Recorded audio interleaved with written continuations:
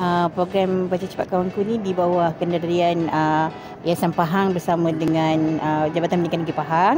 Jadi bagi sekolah SK Tok Santang ni tahun sudah merupakan tahun pertama untuk kami uh, di uh, termasuklah dalam uh, untuk program ini yang mana kita uh, Uh, murid tahun satu yang terlibat.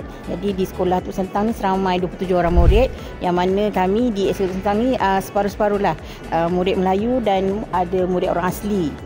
Uh, jadi uh, dia bermula pada bulan Julai tahun sudah. Jadi uh, alhamdulillah lah dengan adanya uh, program dari Yayasan Pahang ini Baca Cepat Kawan Guru banyak membantu kami pihak sekolah lah uh, untuk um, uh, memastikan murid kami berjaya uh, melepasi uh, kontrak yang telah ditetapkan dalam program Baca Cepat Kawan Guru. Okay, jadi saya bagi pihak uh, SK Tuk Sentang dan PPD Temerloh uh, mengucapkan berbanyak terima kasih kepada Yayasan Pahang kerana dengan uh, sumbangan apa dana dan bantuan kepada kami pihak sekolah untuk menjayakan program dan memastikan anak-anak didik tahun 1 terutamanya uh, boleh membaca seawal mungkin melalui program ini.